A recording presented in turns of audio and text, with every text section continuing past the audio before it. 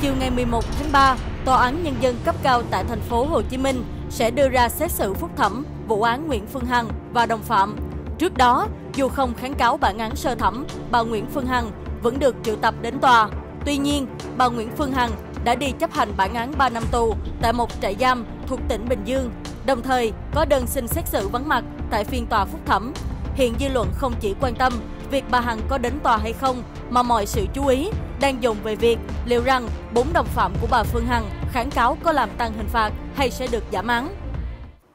Xin kính chào quý vị khán giả. Bảo Trân rất hân hạnh được đồng hành và gửi tới quý vị những thông tin cập nhật trên kênh YouTube của báo Pháp luật Thành phố Hồ Chí Minh. Nội dung chi tiết sẽ được gửi tới quý vị và các bạn ngay sau đây.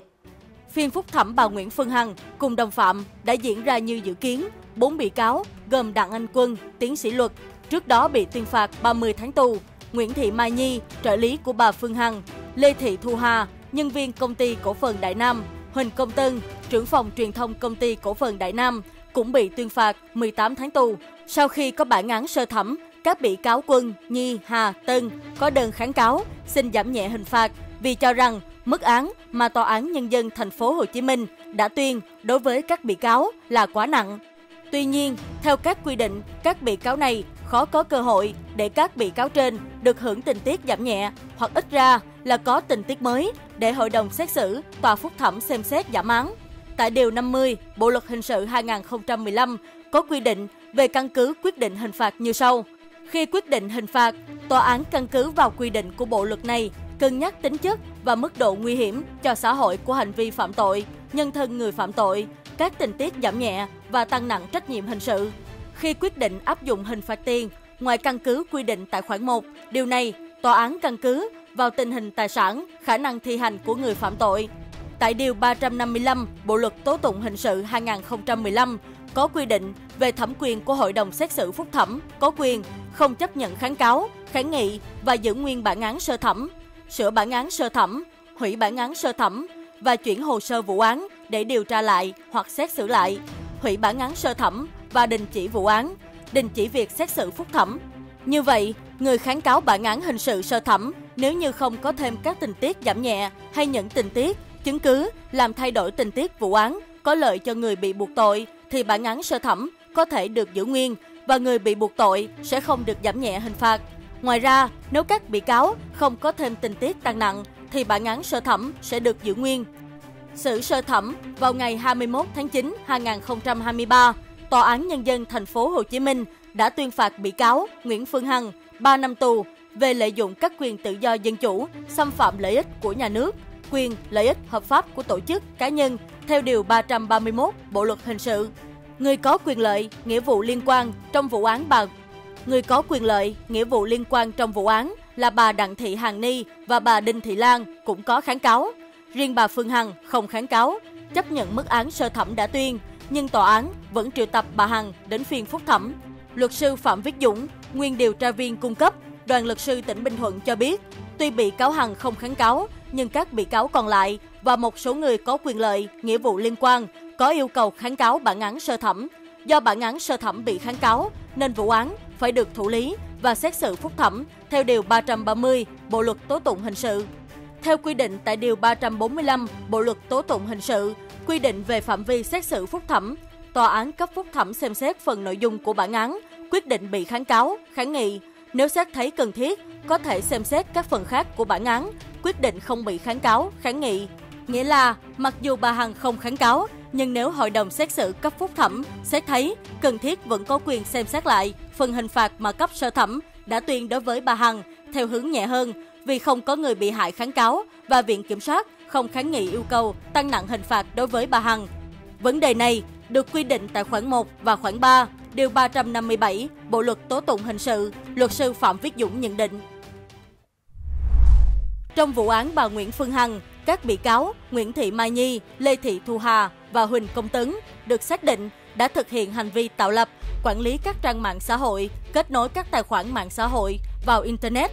thông báo thời gian, chủ đề livestream, chuẩn bị nội dung, sân khấu để bà Hằng livestream và đăng tải các bài viết lên các mạng xã hội theo chỉ đạo của bà Phương Hằng. Đối với bị cáo Đặng Anh Quân đã tương tác, tham gia bình luận trực tiếp với bà Hằng trong 11 buổi livestream của Hằng, cổ vũ về tinh thần, tiếp thêm ý chí cho Hằng thực hiện hành vi phạm tội. Ngoài ra, trong buổi livestream ngày 24 tháng 12 2021, Quân đã phát ngôn có nội dung đưa thông tin xuyên tạc, vu khống, xúc phạm uy tín, danh dự và nhân phẩm của ông Võ Nguyễn Hoài Linh. Cáo trạng của Viện Kiểm sát Nhân dân thành phố Hồ Chí Minh xác định từ tháng 3 2021, bà Nguyễn Phương Hằng thông qua các tài khoản mạng xã hội phát sóng trực tiếp, livestream để xâm phạm bí mật đời tư, ảnh hưởng uy tín, danh dự của 10 cá nhân gồm ông Võ Nguyễn Hoài Linh, nghệ sĩ Hoài Linh, bà Nguyễn Thị Mỹ Oanh, ca sĩ Vi Oanh, bà Đặng Thị Hằng Ni, nhà báo Hằng Ni, ông Huỳnh Minh Hưng, ca sĩ Đàm Vĩnh Hưng, bà Trần Thị Thủy Tiên, ca sĩ Thủy Tiên, cùng chồng là Lê Công Vinh, bà Đinh Thị Lan, bà Lê Thị Dâu, ông Nguyễn Đức Hiển, Phó Tổng biên tập Báo Pháp luật Thành phố Hồ Chí Minh và bà Trương Thị Việt Hà. Theo đó, xuất phát từ việc bà Hằng cho rằng ông Võ Nguyễn Hoài Linh có mối quan hệ với ông Võ Hoàng Yên, người bị bà Hằng tố cáo về hành vi lừa đảo chiếm đoạt tài sản. Nhưng khi yêu cầu ông Linh cùng lên tiếng về hành vi lừa đảo của ông Yên, thì ông Linh im lặng. Đối với bà Nguyễn Thị Mỹ Oanh, bà Hằng cho rằng bà Oanh đã đăng một bài viết trên trang Facebook tên Vi Oanh. Ở phần bình luận, bà Oanh trả lời một tài khoản Facebook khác có nội dung móc máy, xỉa xói việc Hằng ủng hộ Đức để làm từ thiện chống dịch Covid-19. Với bà Đặng Thị Hằng Ni, bà Hằng cho rằng bà Ni đã nhiều lần phát ngôn trên mạng xã hội xúc phạm bà, chống phá công ty cổ phần Đại Nam và quỹ từ thiện Hằng Hữu của Hằng. Với ông Nguyễn Đức Hiển, bà Hằng cho rằng ông Hiển đã trả lời phỏng vấn trên kênh VOV của Đài Tiếng Nói Việt Nam và đăng tải các bài viết trên Facebook, YouTube có thông tin sai lệch ảnh hưởng đến quyền lợi và công ty cổ phần Đại Nam. Với vợ chồng Lê Công Vinh, Trần Thị Thủy Tiên, bà Hằng cho rằng hai người này đã hoạt động từ thiện không minh bạch, ăn chặn tiền từ thiện của dân. Đối với ông Huỳnh Minh Hưng, ca sĩ Đàm Vĩnh Hưng, bà Hằng cho rằng ông Hưng đã lên mạng xã hội phát ngôn xúc phạm bà. Với bà Đinh Thị Lan, bà Hằng cho rằng bà Lan có các phát ngôn trên mạng xã hội, vu khống, xuyên tạc sự thật, xúc phạm uy tín danh dự của bà. Trước đó, ngày 31 tháng 5 2023, Tòa án Nhân dân thành phố Hồ Chí Minh đã trả hồ sơ để điều tra bổ sung để làm rõ vai trò của ông Huỳnh Uy Dũng, chồng bà Phương Hằng, có phải đồng phạm với bà Hằng không? Tòa cũng yêu cầu làm rõ hành vi của bà Hằng cùng đồng phạm có phạm tội làm nhục người khác và tội vu khống hay không. Tuy nhiên, sau khi điều tra bổ sung, cả cơ quan điều tra và viện kiểm soát đều nhận định hành vi của bà Hằng cùng đồng phạm chỉ xử lý về tội lợi dụng các quyền tự do dân chủ, xâm phạm lợi ích của nhà nước, quyền và lợi ích hợp pháp của tổ chức cá nhân nên không có căn cứ xem xét xử lý thêm tội làm nhục người khác và tội vu khống. Đối với ông Huỳnh Huy Dũng, cơ quan điều tra xác định không đủ cơ sở để xử lý hình sự ông Dũng với vai trò đồng phạm giúp sức cho bà Hằng trong các buổi livestream. Từ đó, Viện Kiểm sát Nhân dân thành phố Hồ Chí Minh cho rằng cơ quan điều tra nêu quan điểm không khởi tố ông Dũng là có căn cứ. Tại phiên tòa xét xử sơ thẩm, cả Viện Kiểm sát và Hội đồng xét xử đều nhận định bị cáo Hằng là người khởi xướng, chủ mưu và đứng ra tổ chức các buổi livestream tại nhà riêng và tại công ty Đại Nam để đưa ra những thông tin bị đặt, chưa được kiểm chứng, xúc phạm, ảnh hưởng đến uy tín, danh dự của 10 cá nhân có đơn tố cáo. Trong suốt quá trình điều tra, truy tố, nhiều lần người thân của bà Hằng đã có đơn xin bảo lĩnh, đặt tiền để bảo đảm để được tại ngoại nhưng không được cơ quan tố tụng chấp nhận. Tính đến ngày xét xử bà Phương Hằng đã bị tạm giam 18 tháng. Cũng chính vì thế mà trong suốt quá trình phiên tòa diễn ra, bà Hằng nhiều lần ngạn lời nhắc lại câu nói bị cáo đã bị tạm giam 18 tháng. Đây là cái giá quá đắt mà bị cáo đã nhận. Trong quá trình xét hỏi, ngoại trừ luật sư bào chữa cho mình và luật sư bào chữa cho bị cáo Quân, thì bà Hằng hầu như không trả lời những câu hỏi của các luật sư còn lại. Bà Hằng chỉ nói ngắn gọn, tất cả nội dung đã thể hiện trong cáo trạng, đề nghị luật sư đọc lại cáo trạng. Trong vụ án, có tổng cộng 10 bị cáo bị bà Hằng xúc phạm, có đơn tố cáo đến cơ quan công an. Tại tòa, 10 cá nhân này đều có yêu cầu đề nghị hội đồng xét xử buộc bà Hằng phải xin lỗi. Tuy nhiên, bà Phương Hằng cho rằng bản thân mình mới là người bị hại và bị tấn công, công kích trên mạng trước và cũng đã phải trả giá quá đắt nên không đồng ý xin lỗi. Tuy nhiên, bà Hằng gửi lời xin lỗi tới những người mà mình đã vô tình xúc phạm trong quá trình livestream.